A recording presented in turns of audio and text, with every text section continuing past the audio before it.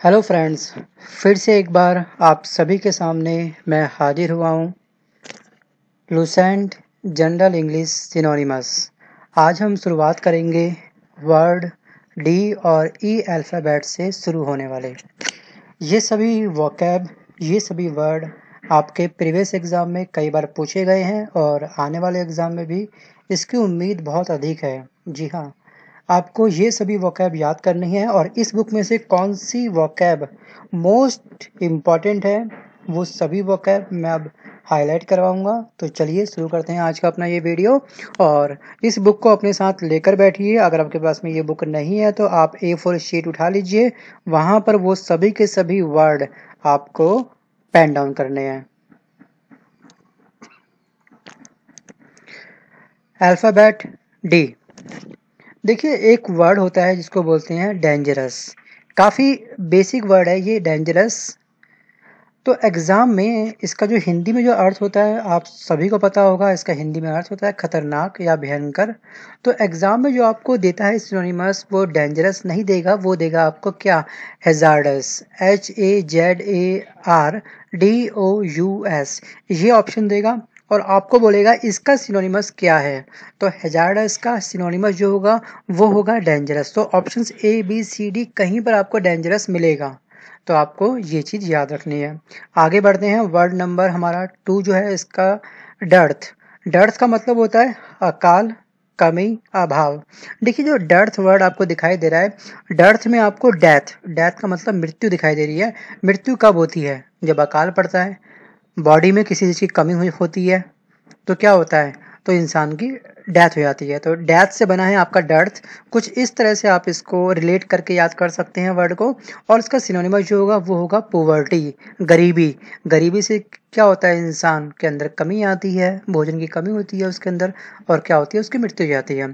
तो यहाँ पे क्या आएगा? जो इंपॉर्टेंट वर्ड है डेर्थ के सिनोनिमस लास्ट के दो जो हैं पोवर्टी एंड स्केल सिटी तो ये दोनों दोनों वर्ड काफ़ी इंपॉर्टेंट है। आगे बढ़ते हैं वर्ड नंबर थ्री में डेडिकेशंस इसका मीनिंग आपको पक्का पता होगा। आप जैसे पढ़ते हैं कंपटीशन की तैयारी करते हैं तो वहाँ पे क्या करते हैं डेडिकेशन होना बहुत ज़रूरी है।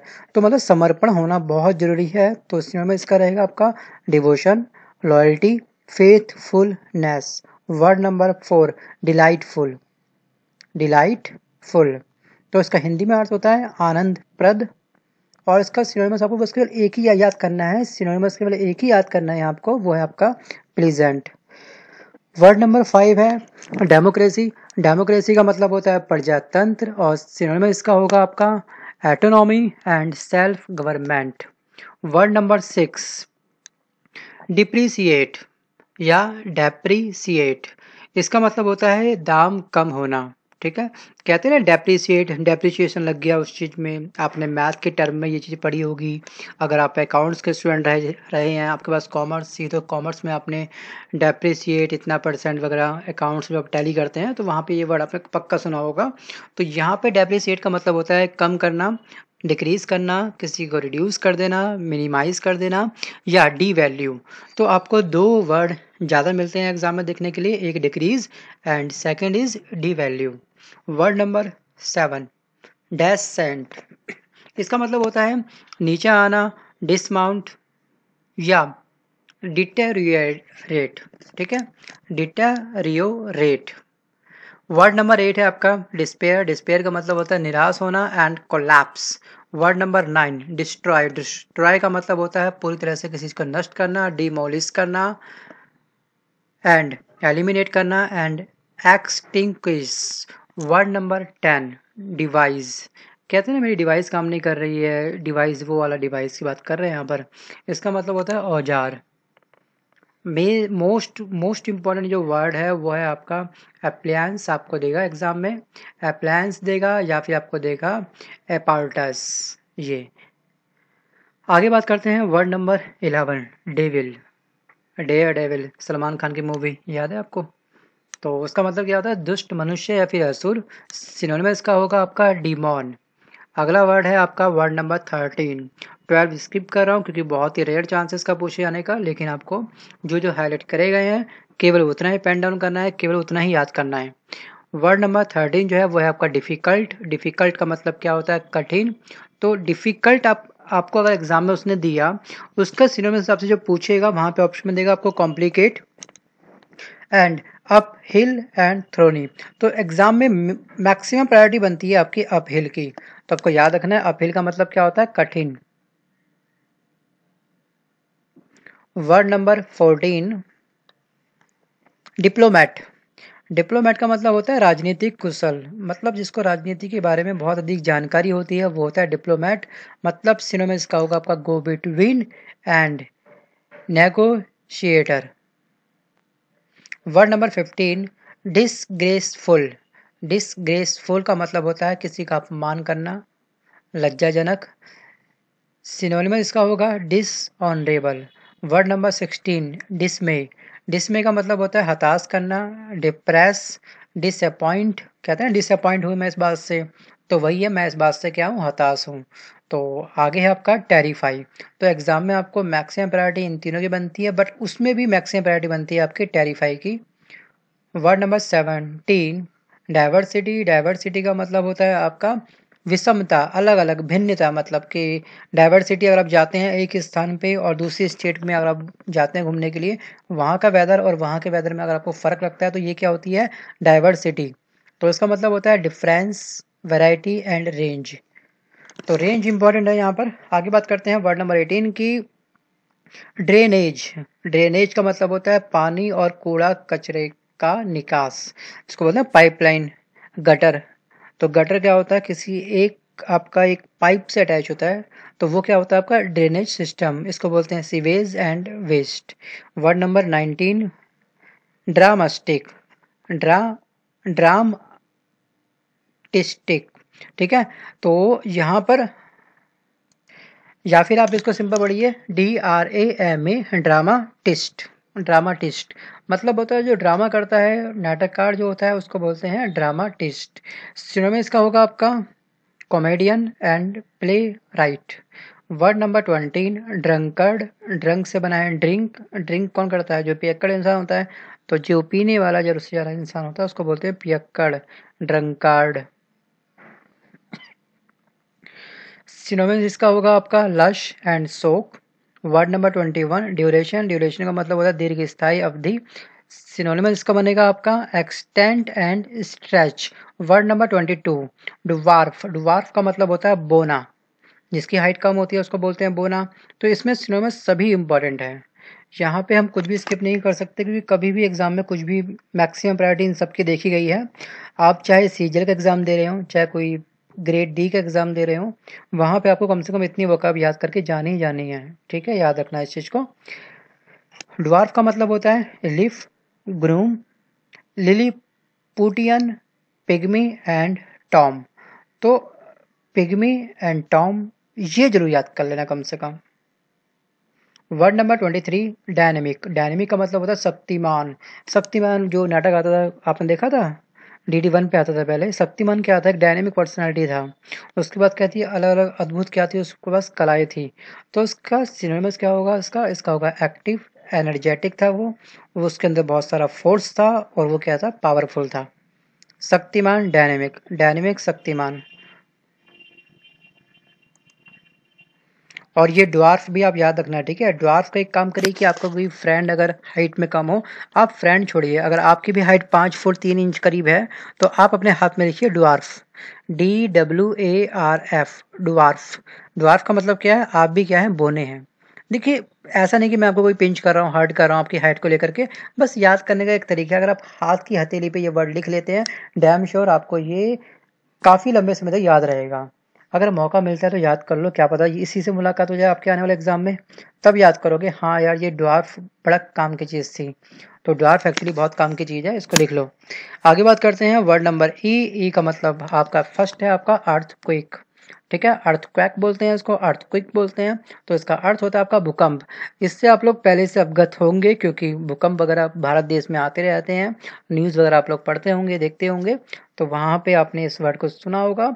और देखिए, इसका सिनोनिमस क्या होता है? सिनोनिमस इसका होता है आपका क्वैक अर्थ क्वैक मतलब क्वैक शेक अर्थ मतलब अर्थ अर्थ का हिलना and tremor tremor तो ये दोनों दोनों वर्ड जो है, कई बार एग्ज़ाम में पूछे गए हैं तो आप इसको याद रखना। आगे बात करते हैं। इकोनॉमिकल इकोनॉमिकल मतलब होता है आपका अल्प व्यय संबंधी मतलब कम खर्चीला संबंधी जो बातें होती हैं, उसको बोलते हैं frugal inexpensive thrifty and reasonable word number three है आपका एफिशिएंट एफिशिएंट का मतलब होता है कार्यक्षम competent and proficient word number four eligible eligible अगर आप हैं तो यह फॉर्म भर सकते हैं। ठीक है? तो ये उस वाली बात कर रहा हूँ मैं। तो इसका हिंदी में अर्थ होता है उपयुक्त या फिर योग्य। में इसका होगा आपका worthy qualified and suitable word number five emancipate emancipate का मतलब होता है मुक्त करना डिलीवर डिस्चार्ज फ्री या फिर liberate embarrass A M B A double R A double S embarrass embarrass का मतलब होता है व्याकुल करना, ठीक है? व्याकुल करना। सिनोनिम इसका होगा आपका distress most most most important word है distress word number seven E migration immigration बोलते हैं इसको इमाइग्रेशन बोलते हैं कुछ लोग। तो इसका जो होता है अर्थ वो होता है परदेश गमन प्रदेश में जाने वाला। Departure journey and migration and removal migration removal इसको अपनी बुक में इसी तरह से हाईलाइट करना। आगे बढ़ते हैं word number eight eminent eminent का मतलब होता है आपका प्रोमिनेंट प्रोमिनेंट का मतलब होता है आपका इम्पोर्टेंट इम्पोर्टेंट का मतलब होता है आपका सबसे श्रेष्ठ। इनॉर्मस इनॉर्मस का मतलब होता है बहुत बड़ा। इनॉर्मस का मतलब क्या होता है? बहुत बड़ा। अगर आपकी हाइट बहुत ज़्यादा है तो अपने हाथ में लिख लो अब enormous you are enormous you are enormous मतलब आप क्या है? बहुत बड़े हैं। इसको बोलते हैं gigantic immense prodigious and vast word number ten enthusiast enthusiast या फिर इसको ये बोल सकते हैं आप लोग। तो इसका अर्थ होता है आपका उत्साही devotee followers lover and supporter word number twelve eleven important नहीं था, इसलिए मैंने इसको स्किप कराया। वर्ड नंबर ट्वेल्व पे अब हम आगे बढ़ते हैं। एग्जागिरेट एग्जागिरेट इसका मतलब होता है बढ़ाना एनलार्ज करना किसी चीज़ को और amplify word number thirteen excellence कहते हैं एक्सीलेंस तो एक्सीलेंस का मतलब होता है महत्व श्रेष्ठता। सिनोनिमस इसका होगा आपका purity and virtue word number fourteen excess हर चीज़ एक्सेस में काफ़ी गलत लगती है। अगर आप दिन रात पढ़ते जा रहे हैं पढ़ते जा रहे हैं पढ़ते जा रहे हैं चौबीस घंटे में अगर आप बीस बीस घंटे पढ़ रहे हैं तो ये चीज़ क्या है? एक्सेस है आपका। सिनोनिमस इसका, क्या होगा? सिनोनिमस इसका होगा आपका extravagance surplus word number fifteen है आपका एक्सक्यूज एक्सक्यूज का मतलब होता है किसी को क्षमा करना। कहते हैं ना एक्सक्यूज मी थोड़ा साइड हो जाइए। तो मतलब हम उसको टोक रहे हैं, वो अपने अगर काम कर रहा है, रास्ते में कुछ बात कर रहा है तो उसको बोलते हैं एक्सक्यूज मी थोड़ा सा साइड हो जाइए।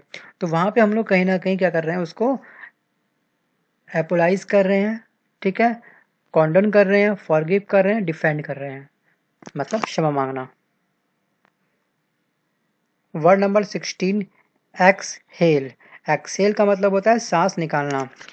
जैसे हम सांस अंदर लेते हैं, सांस जब हम बाहर निकालते हैं, उस क्रिया को बोलते हैं एक्सहेल इसका सिनोनिमस होगा उसका emit expel expire discharge word number seventeen experience experienced का मतलब क्या होता है? अगर आपके पास में एक्सपीरियंस है तो आप जॉब कर सकते हैं। एक्सपीरियंस नहीं है तो आप जॉब नहीं कर पाएँगे।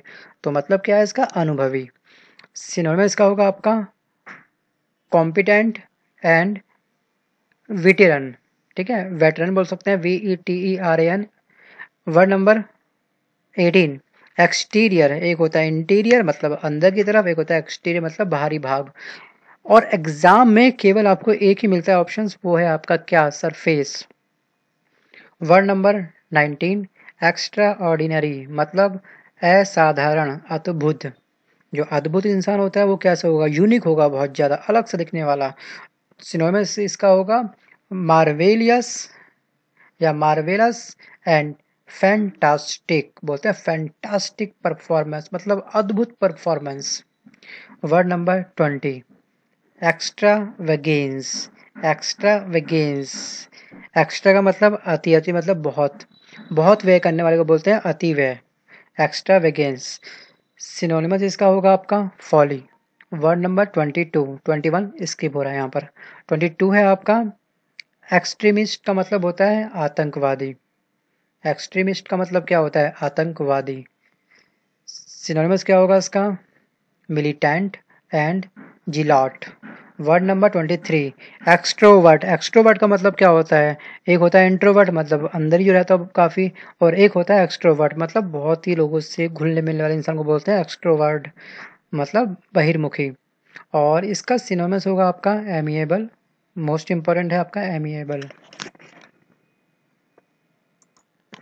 तो फ्रेंड्स आज के इस वीडियो में बस केवल इतना ही। उम्मीद करता हूँ कि आपको ये वीडियो पसंद आया होगा।